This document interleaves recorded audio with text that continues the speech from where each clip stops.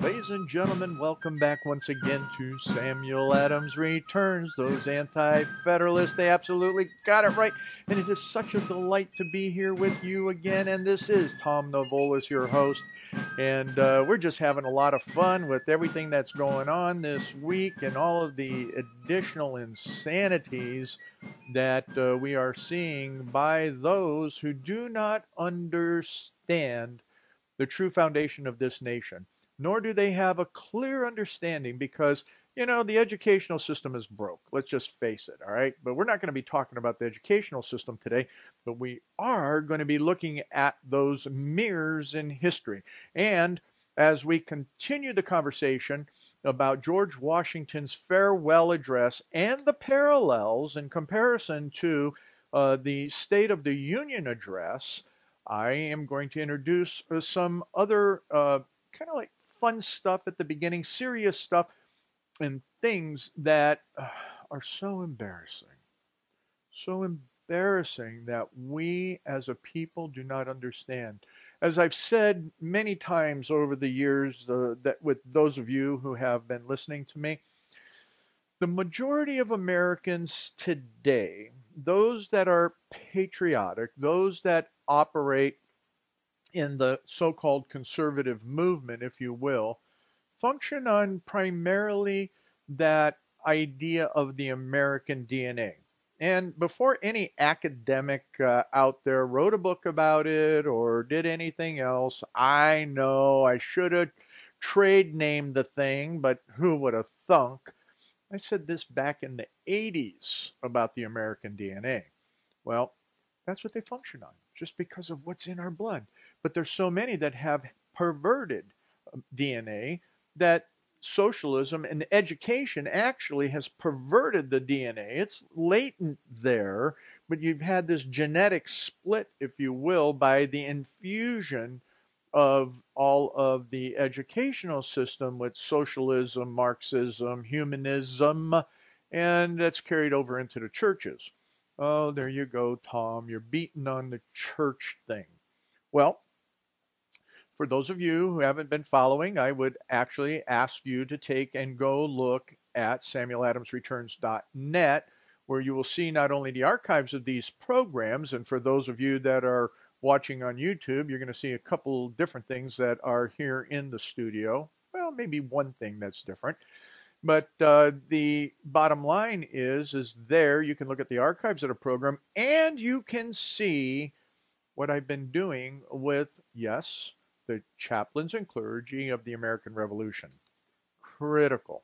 I, I, I think that if pastors would really spend the time reading that book, um, they would either have to change their theological perspective about uh, being involved or they would um, just continue to be deceivers at that point and living in a life of deception relative to what it means to uh, be very involved. So, with that, you're going to see probably in the next several weeks, because it's always difficult to put different stuff together, but in the next several weeks, what you're going to be seeing is another tab popping up there because I'm going to start reading another book that I think that is critical. And the the point is that you know what? There's not a word, you've heard me say this before. There's not a word that has not been spoken or a word that has not been written in a number of different combinations and some almost exactly the same. But as we know, academia demands that if you're going to get your master's degree and your PhD, you have to write something. And a lot of times it's like, uh, you know, some mental creativity that actually never represents fact and truth. So, what's this new venture, Tom? Well, the new venture is going to go through uh, something that I've been talking about for years, and that is um, and you know what? Maybe I'm going to start a whole nother YouTube channel and call it the uh, American Foundational Church. How about that? What do you think, Kath? American Foundational Church? Or the Foundational Church of America? Hmm, I don't know. Well, it was Puritan, It was about the Puritans, the Puritan pulpit. Now, I'll just put another tab here on Samuel Adams Returns, and you can find it on the Samuel Adams Returns channel on YouTube and uh, see if you can handle it. But the new project, the new book, is not one of my new books, as I point to them behind me on the bookshelf there.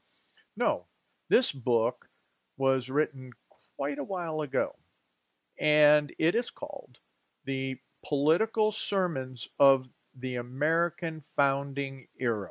It's two volumes. I don't know, it runs about uh, probably about four or five hundred pages uh, per, maybe three to four hundred pages per volume. Sorry about the reflection for those on YouTube on my glasses, but it's the best way I can do it. So let me get something here. A couple things that I think are critical about this. So this isn't even in, this is right under the table of contents. Listen closely. To the pulpit, comma. To the pulpit. That means to you pastors, clergymen, church leaders. Specifically, though, this says to the pulpit, comma, is a punctuation. The Puritan pulpit, comma, we owe the moral force which won our independence. John Wingate Thornton. Okay, wow. Next is this quote This principle that a whole nation has a right to do whatever it pleases cannot in any sense whatever be admitted to be true or as true the eternal and immutable laws of justice and morality are paramount to all human legislation. The violations of those laws is certainly within the power of a nation, but it is not among the rights of nations. John Quincy Adams. If you know anything about John Quincy Adams, he was already an ambassador to Russia at 12 years old. So go figure that one. He could. anyway, that was very interesting. So the first point of this book very plainly comes out to the pulpits. Boy, they talked about this just in the forward that the pulpits miss it today. The pulpit of the American revolutions, when you take and you you borrow what John Wingate Thornton said in the 1860s is a collection, and he put this together. It was a collection of the most important material of the various sermons of those pastors that preached from the pulpits of that day and led us to the opportunities that we have here. Uh, Reverend William Gordon of Roxbury, Massachusetts, who wrote the celebrated history of the American Revolution, quotes this The ministers of New England, being mostly Congregationalists, are from that circumstance in a professional way more attached and habituated to the principles of liberty than if they had spiritual superiors to lord it over them, and were in hopes of possessing in their turn, through the gift of government, the seat of power. They oppose arbitrary rule in civil concerns from the love of freedom, as well as from a desire of guarding against its introduction into religious matters. The clergy of this colony, being Massachusetts colony, are as virtuous, sensible, and learned a set of men as will probably be found in any part of the globe of equal size and equal populace. It is certainly a duty of the clergy to accommodate their discourses to the times, to preach against such sins as are most prevalent, and to recommend such virtues as are most wanted. You have frequently remarked that though the partisans of arbitrary power will freely censure that preacher who speaks boldly for the liberties of the people, they will admire as an excellent divine the parson whose discourse is wholly in the opposite and teaches that magistrates have a divine right of doing wrong and are to be implicitly obeyed. Men confessing Christianity as if the religion of the blessed Jesus bound them tamely to part with their natural and social rights and slavishly to bow their neck to a tyrant. I don't know about you, but I sure have heard a number of different preachers preach from the pulpit and use those scriptures out of Romans to justify tyranny, even here in America, or justify the fact that they don't have the uh, guts, they don't have the understanding, uh, they don't want to chase the money away from their corporations to the extent that they will not touch on social and political issues that are meaningful for the liberty of a people.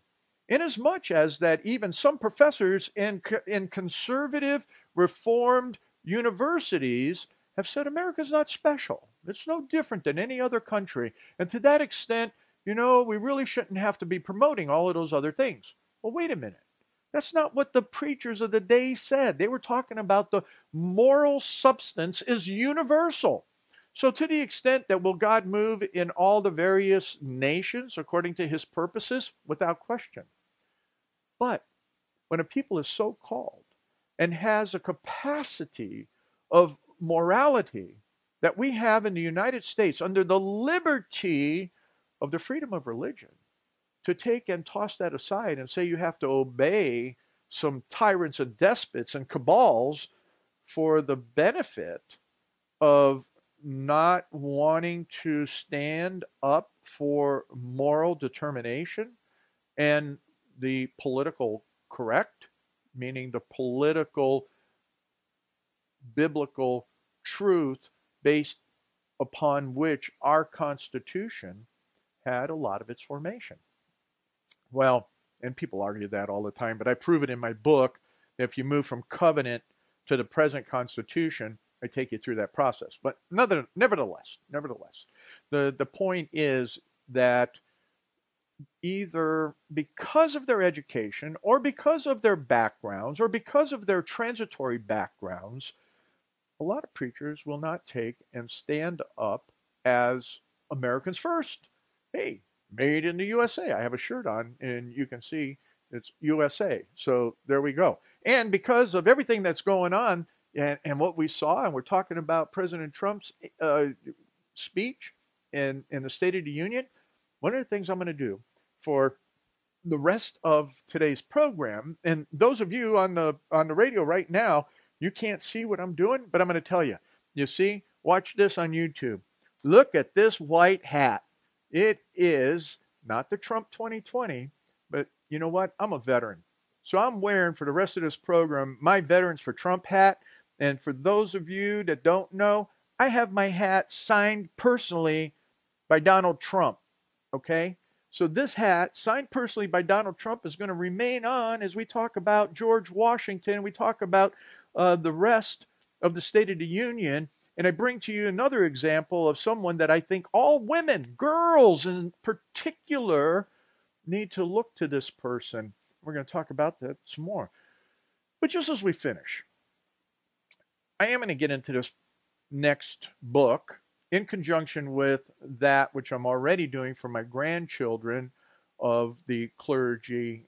Uh, I'm sorry, it's the chaplains and clergy. You got to get your C's right. The chaplains and clergy of the revolution. Then I, in conjunction, am going to be doing the political sermons of the American founding era because we need to understand that the sermons were preached in such a way that it established the framework from which we could stand on liberty and clearly understand that we were fighting for something greater than just the passions of mankind, just for economic purposes, just so that some punks could yap at school. No, we're fighting for the American Revolution. We were fighting for liberty that Samuel Adams talked about from the time that he graduated from college. So Samuel Adams is here, and the Anti Federalists, they did. They absolutely got it correct. Ladies and gentlemen, welcome back to this second segment of Samuel Adams Returns Those Anti Federalists. They did. They absolutely got it correct. And from the first segment, we were taking and looking into the mirrors of history, and we're going to continue to do that in the second segment. But at this time, you know, I really want you to take a look at what's going on on Liberty Works Radio Network's what website. You know, see what's happening during the rest of the week. See and listen because you can't always see be it on the you know internet radio you're not going to be able to see it unless there's the archives like we have uh, on youtube but go check out the website. Go check out those hosts and hostesses that are there during the week and have that live programming. You know what? It's a lot of work and a lot of great information and then don't forget about that donate button because this is listener funded so let's go and jump back into those mirrors of history for a little bit here. And uh, as you on YouTube, you can see, uh, or at samueladamsreturns.net, where the archives are, you can see my Donald Trump, Trump for Veterans hat and signed by Donald Trump. And oh, yeah, that anchor sitting on there, that's not just because I was in the Navy, that's because I are a Navy chief. That means a lot. It means very, very much, especially old guys like me. That was history. That was kind of a mirror of history reflection. Kath's over there laughing at me. So, well, let's get jump back into this mirrors of history. And I wanted to bring this one to you, ladies, girls in particular, ladies that are listening I really, really, really, really, really think that you need to go grab your daughters and granddaughters and uh, hear a little bit about this next segment. Because if you're looking for a role model, if you're looking for someone that had the, some of the greatest influence in America, that's what I'm going to talk about right now. You know who that is? Some people think, oh, Dolly Madison. Uh, not really. Oh, well, what was John Adams' wife's name? Oh, mm, not really. Oh, then you can think of, you know, some of these modern people. Mm, not even close. What about Martha Washington? Eh, she was supportive, but she didn't have an impact. So who was it? Let me tell you. Did you ever hear? And you've heard me mention her before. Actually, I've done, I think, a program on her. I, I don't recall at the top of my head. I should have looked back in my archives. No, it was none other than one of Samuel Adams' contemporaries, a lady that was counted as one of the guys, a lady that was actually in the council among the men of the founding of the nation in Massachusetts colony. Just extremely articulate, extremely wise, and one that understood the principles of godly, good governance. So if there's any pastors out there that are kind of toying around with this idea of theocracy, and I know of one in particular, that uh, they need to go read the history of the American Revolution by none other than Mercy Otis Warren. So between uh, 1772 and 1805, Warren published at least five plays, three political satires, and two verse tragedies, a collection of poems, a political pamphlet warning of the dangers of the proposed Constitution. Yes, she was an anti federalist, just like Sam Adams. And one of the two most important contemporary histories of the American Revolution. Beginning about 1770, she became a prolific letter writer, entering into a kind of literary apprenticeship in one of the century's more interesting genres, the familiar letter, and leaving to us a legacy of more than a thousand pages of correspondence devoted to a variety of political, cultural, economic, and social themes. Warren's history of the rise, progress, and termination of the American Revolution was the culmination of her literary career. Just a side note on this about her is that after Jefferson took the presidency, he had the, uh, at I guess what we would call now the Federal Printing Office, but he had enough copies, which in that time wasn't a lot, but enough.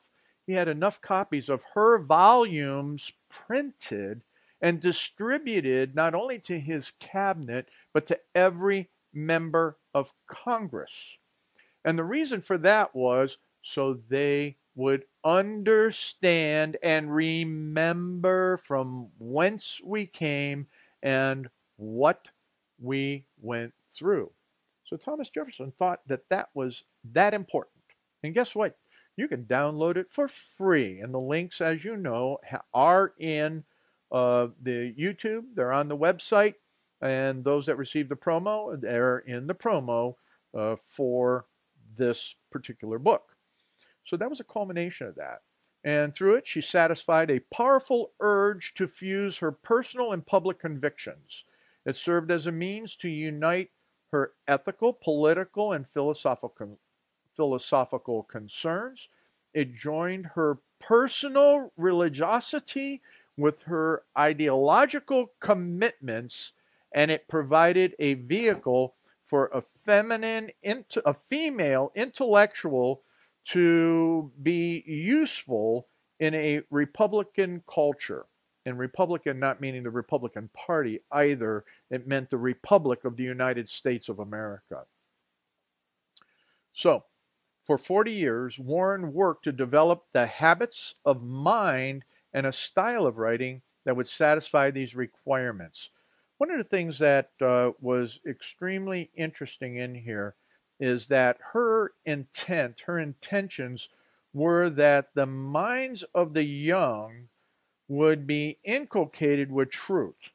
So she viewed history, she viewed all of the various things that she did was that the young were peculiarly my charge because not only was she a woman that engaged in all these political affairs, but she was a mom. She was a wife. She was someone that lived that fulfillment of those activities according to her calling by God. And so she fulfilled the role, a traditional role of a mother, a traditional role of a mother, and she integrated that private and public role all together in that. So that, uh, you know what, she had a voice, a woman who gave voice to the central principles and values of the political culture.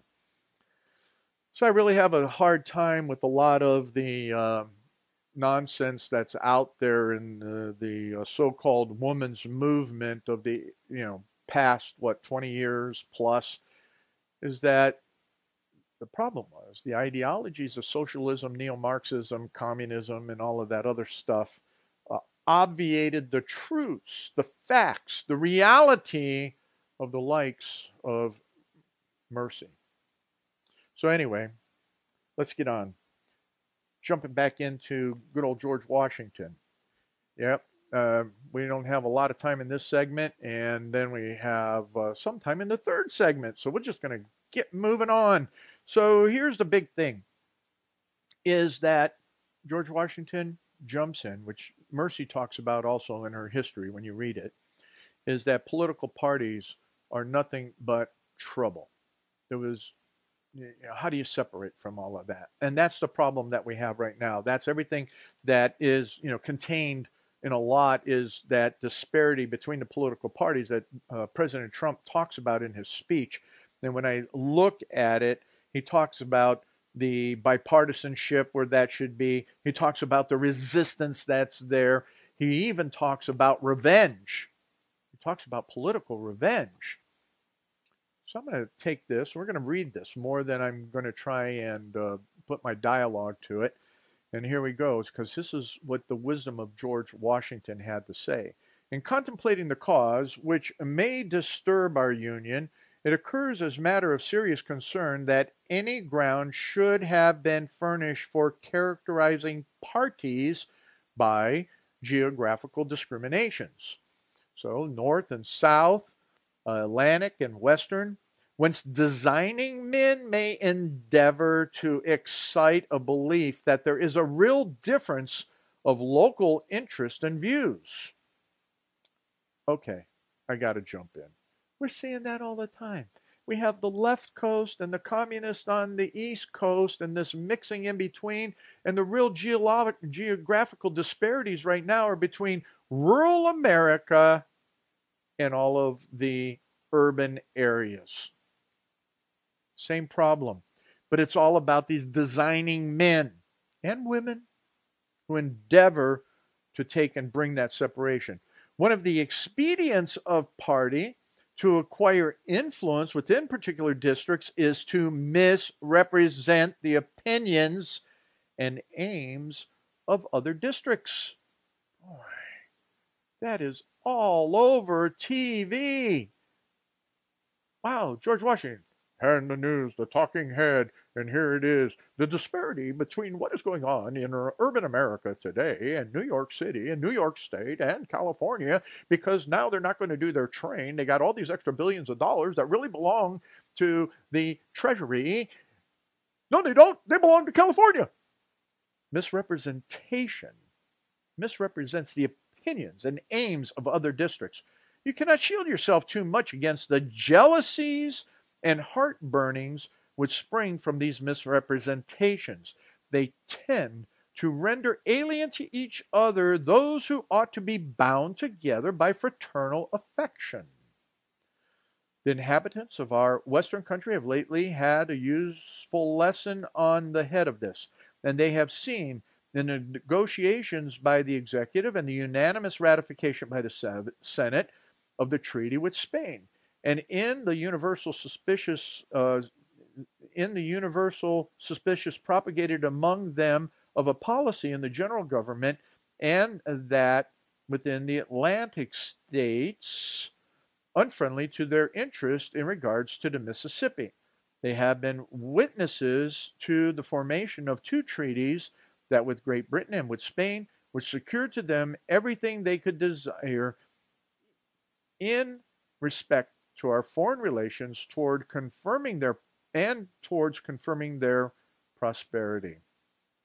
You know, will they then not henceforth be deaf to those advisers, and such there are, who would serve them from their brethren and connect them with their with the aliens?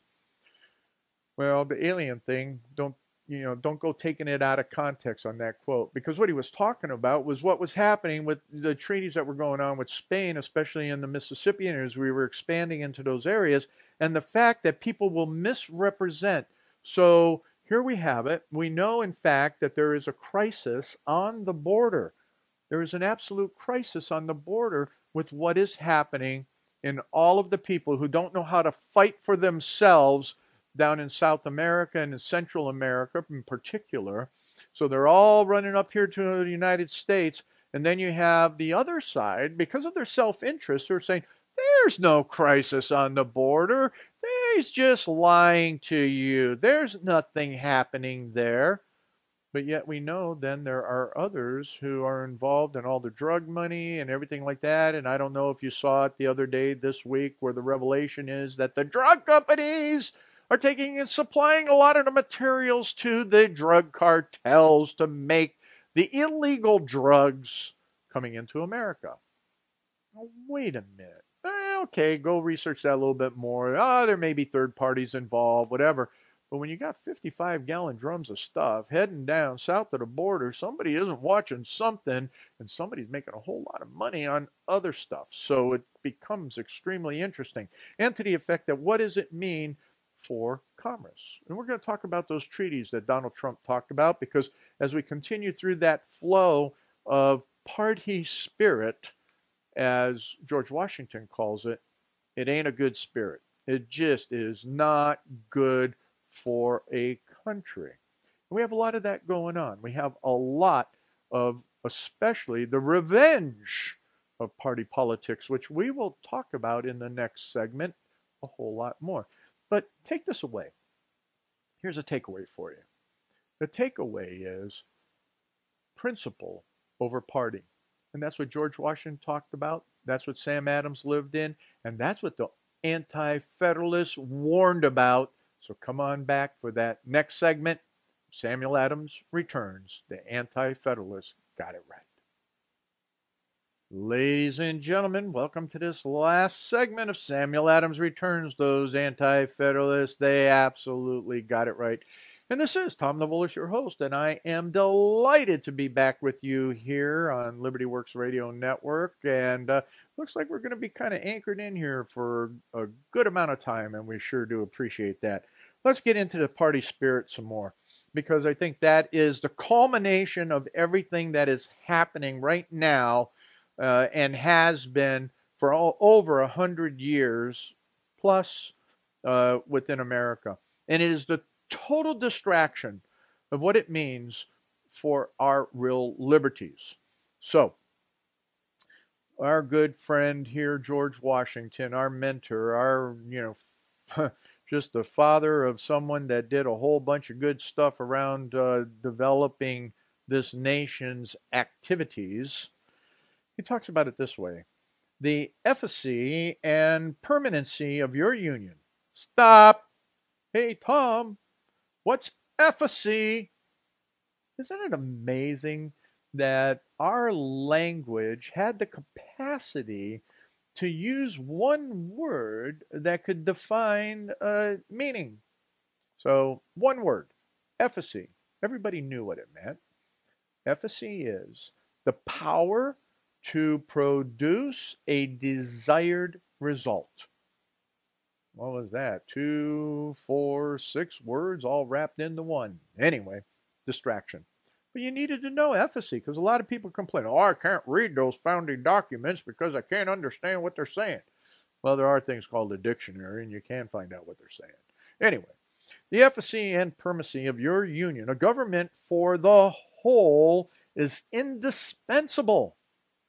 No alliance, however strict, between the parts can be an adequate substitute. They must inevitably experience the infractions and interruptions which all alliances in all times have experienced. He was wise enough to understand. And one of the things that we must clearly understand over and over what the Anti Federalists were hammering home on, and which was, you know, talked about a little bit during the Federalist Papers, every state is an independent republic. It's guaranteed. All right. Nowadays, you know, through cabal and everything else, it's not. Okay, so he says that that is important. That that is something that the alliances also at some point in time, you know, people things are going to happen. There's that potential for it to coming unraveled. Or what else? Sensible of this momentous truth, you have improved upon your first essay by the adoption of a constitution of government better calculated than your former for the inti- uh, intimate union and for the efficient manner of your common concerns. So he's referring to the fact that we had a constitution before the Constitution. Articles of Confederation were the first constitution. So the government, the offspring of our own, of our own choice, uninfluenced and unawed, adopted upon full investigation and mature deliberation, I don't know about that, completely free in its principles, in the distribution of its powers, uniting security with energy, and containing within itself a provision for its own amendment, has a just claim to your confidence and your and your support. That's what we're supposed to be doing, but we have to understand it, which most people don't. Respect for its authority, compliance with its laws, acquiescence in its measures are duties enjoined by the fundamental maxims of true liberty.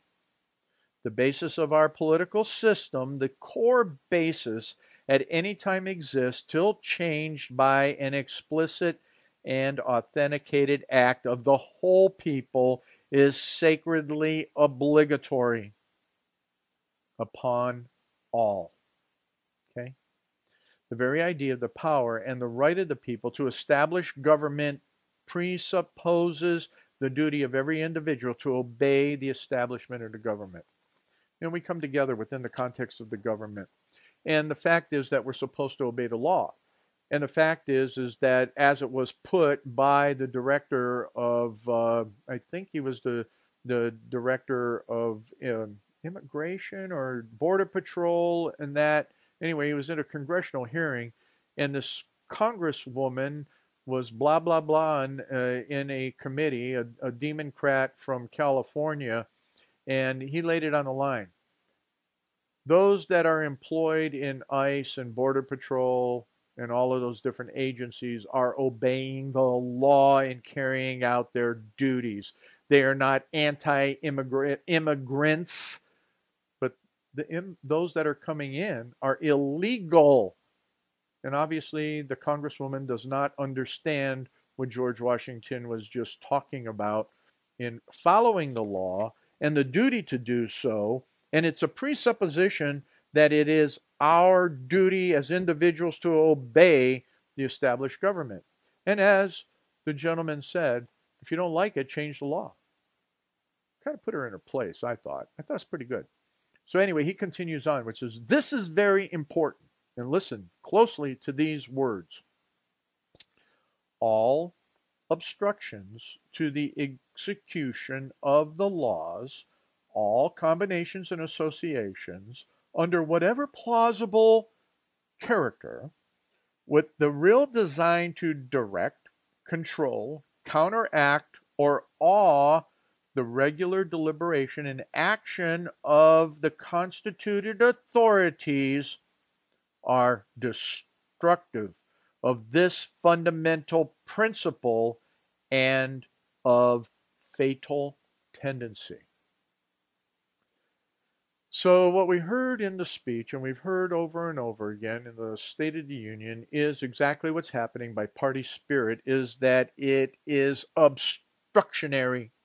And just as he said, the obstruction of the execution of the law, and that means all of the obstruction that's going on, even with these various, whatever they call them, city, sanctuary cities, is fatal and it is destructive of the fundamental principles.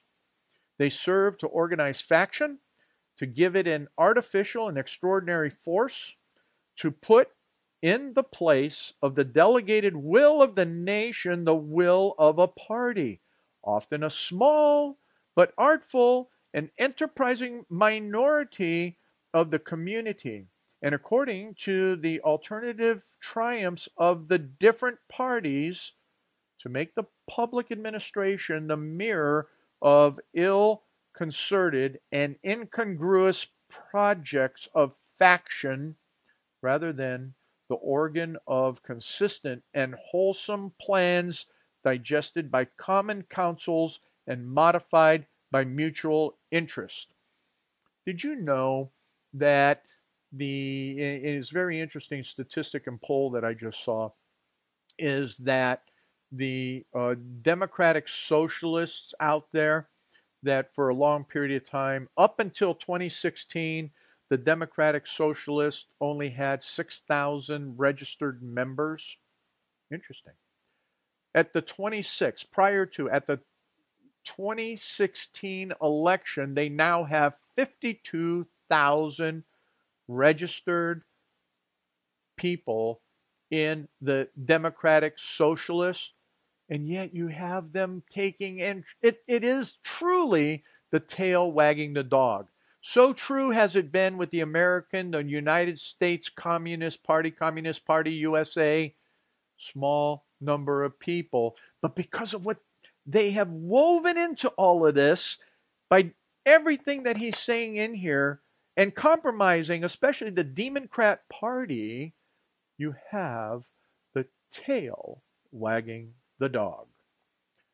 However, combinations or associations of the above description may now and then answer popular ends. They are likely, in the course of time and things, to become potent engines by which cunning, ambitious, and unprincipled men and women will be enabled to subvert the power of the people and to usurp for themselves the reins of government, destroying afterwards the very engines which have been lifted them to unjust dominion. What I always talk about. You know, Saul Alinsky, all of those, you know, Rahm Emanuel, all of those people in Chicago, the Chicago Machine, the uh, uh, what what what's what's his name, Obama. Uh, they all went to Chicago and they were there by the University of Chicago to learn, especially from the Anti-Federalist papers, how to work through all of this so that they become what? They subvert the power of the people and to usurp for themselves the reins of government, destroying afterwards the very engine which have lifted them to unjust dominion. So they don't understand. This is what happens in communism. This is what happened in every regime. You think about the history of communism in Russia and what happened with Lenin, Stalin, Trotsky was killed by his own people. How about that? Taking an ice hammer to your head. How about all the people that Stalin murdered? He didn't like you. You couldn't get along with the program. You're gone. Bullet to the head. Oh my. So anyway, he, he continues to go on. So let, let, let me uh, hit you with a couple other things. There's another good chunk of paragraph in here I'm kind of jumping over, talking about liberty itself will find in such government with powers properly distributed and adjusted its surest guardians. That's us, we the people. So he also goes on to talk about this because he talks about the enjoyment of rights of person and property. So that means life and liberty. I have already intimated to you the danger of parties in the state, with particular references to founding of them on geographical discrimination. Let me now take a more comprehensive view and warn you in the most solemn manner against the baneful effects of the spirit of party generally. This spirit, unfortunately, is inseparable from our nature having in its roots the strongest passions of the human mind. It exists under different shapes in all governments, more or less stifled, controlled, or repressed. But in those of the popular form, it is seen in its greatest rankness and is truly their worst enemy. This comes down to what I always say man is sinful. Sam Adams and the Anti Federalists understand that. The alternate dominion of one faction over another, sharpened by the spirit of revenge, natural to party dissensions, which in different ages and countries has perpetrated the most horrid enormities, is itself a frightful despotism. A frightful despotism. Ladies and gentlemen, that's exactly what we're experiencing. People sit there and wonder what's going on and all of that. I uh, will compel you to go to the link. It was in uh, last week's information. The link is there again this week. It's both uh, on the YouTube channel. It's in SamuelAdamsReturns.net uh, for this week's uh, program in the archives. You can go there and download George Washington's farewell address. Take the time to read it, study it, listen. Look at those mirrors in history, my friends. I, that's where we're at. Understand what it would take to be a moral people. And going back to the very first chapter, pastors, it is absolutely your responsibility to meld together the truths of liberty of biblical foundational truth in what that means in every aspects of culture, business, and political life. Not just family, not just missionaries, not just all. I always say that the gospel that Jesus preached is extensible, and that means that it crosses over everything. And as you read George Washington's farewell address, you'll get the message. So come on back next week when Sam Adams, he's going to return. And yes, those anti Federalists, they did, they absolutely got it right.